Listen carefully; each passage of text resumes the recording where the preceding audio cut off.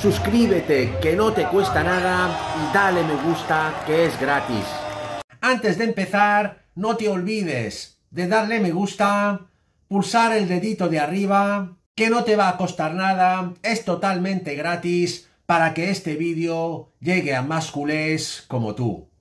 Buenas amigos culés, ¿qué tal estamos? Voy a empezar este vídeo con el incidente de esta mañana de Íñigo Martínez con un TikToker de Real Madrid. Vamos a escuchar primero lo que pasó.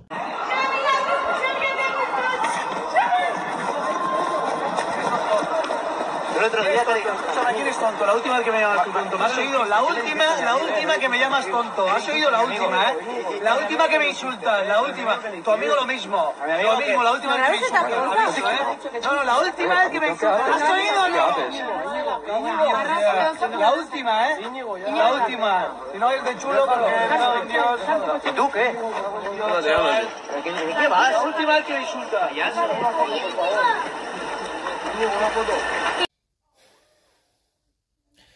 Y ahora vamos a escuchar la chorrada que ha dicho un famoso youtuber español sobre Vinicius.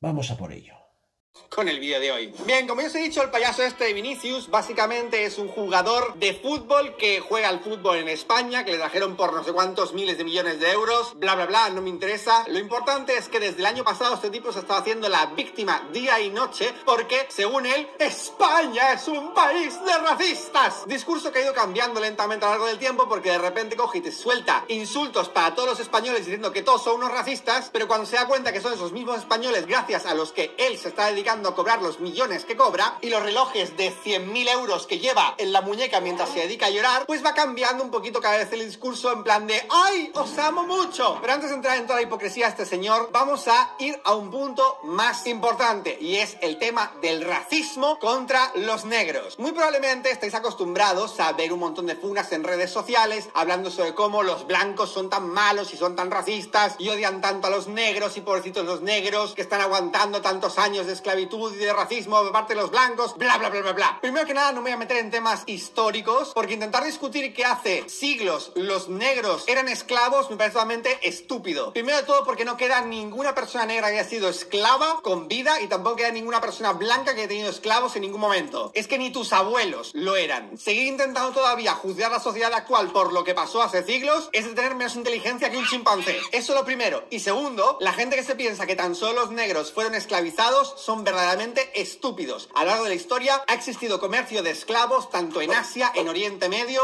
y una buena parte de esos esclavos eran blancos, por no hablar del Imperio Romano y otro largo etc. Con lo cual intentar fingir y modificar la historia a tu conveniencia para victimizar a una raza entera y demonizar a una raza entera es de ser realmente estúpido. Pero dicho, no me voy meter ahora en temas históricos, vamos a pasar a la actualidad. ¿Qué ocurre realmente en la actualidad y cómo de racistas son los blancos? Bien, vamos a verlo. Este estudio que se ve en el año 2021, cuando salió, fue escondido a las cosas más recónditas de las catacumbas. Básicamente estaba intentando ver cómo de mucho los grupos raciales se odiaban entre ellos. Y entrevistaron a cuatro grupos raciales, blancos, hispanos, negros y asiáticos. Las calificaciones se basan en cuánta de mala opinión tienen un grupo al respecto de los otros y cómo de buena opinión tienen. A más hacia la derecha está el puntito, mejor opinión tienen de ese grupo racial. Y a más a la izquierda está peor opinión tienen de ese grupo racial. Pues bien, si os fijáis, los blancos son el grupo racial más odiado de entre todos los demás grupos. Fijaos que tanto en las respuestas de negros, asiáticos o hispanos, el grupo que más odian todos son los blancos, mientras que en cada una de las respuestas individuales, el grupo que menos odian son el suyo propio. Si nos centramos específicamente en la interacción entre estos dos grupos, podéis ver cómo los blancos han sido educados para más o menos tener casi casi la misma opinión acerca de todos los grupos. Y definitivamente el grupo con más racialización y que más odia a otros grupos mientras pone el suyo propio por encima es específicamente este. Tanto hispanos como asiáticos tienen a su propio grupo votado un 80, mientras que este un 85. Y definitivamente son este grupo el que... No he escuchado tantas chorradas y tantas tonterías en mi vida. Se nos va de las manos, ¿eh? Se nos va esto de las manos definitivamente. Esta sociedad se está yendo a la puta mierda, ¿eh? O paramos esto y me da igual que sea del Barça, del Madrid, me da igual. O de verdad, esto va a acabar mal, ¿eh? Esa foto de Lamin con Vinicius nos da una bofetada a todos. Ahí lo dejo. Y ahora sigamos con la actualidad de nuestro Barcelona. Ha nacido una nueva estrella en la cantera. Vamos a por ello.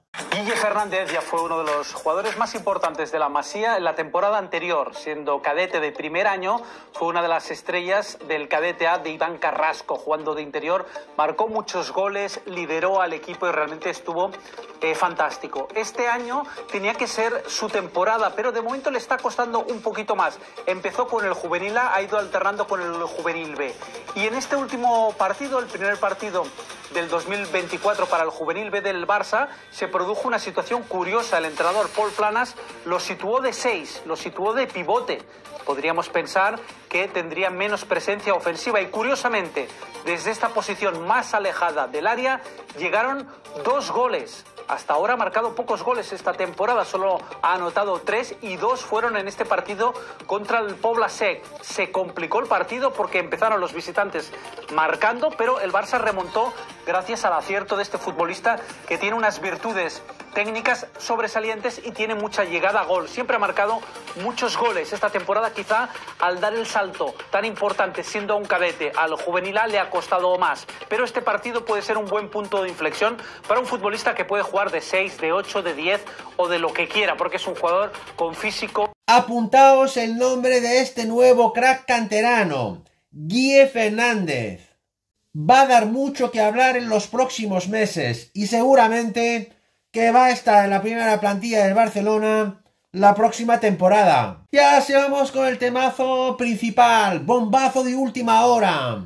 Duro golpe del Barça al Paris Saint Germain. Pues bien, como sabemos, el PSG quiere fichar a la Yamal, está loco por él, lo tiene entre ceja y ceja, ya ofrecido por nuestro crack canterano 200 millones de euros y va a aumentar esa cifra en las próximas semanas. Ha habido algunas informaciones esta semana que apuntaban que el jeque del PSG está negociando con el padre de Lamin Yamal, incluso que han llegado a un acuerdo por el traspaso de nuestro crack canterano al PSG.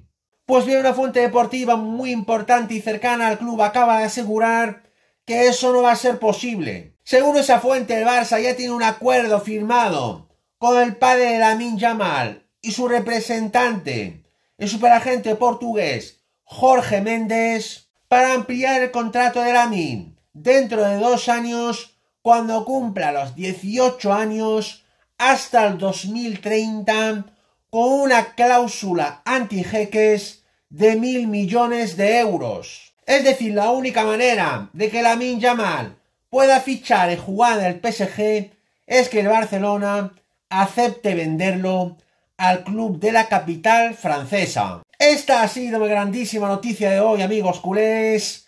No os olvidéis suscribirse a mi canal, que no os cuesta nada.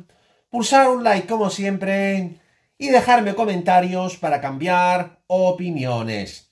Muchas gracias. Forza Barça por siempre. Vamos a por todas. Y nos vemos muy pronto en mi próximo vídeo. ¡Vamos!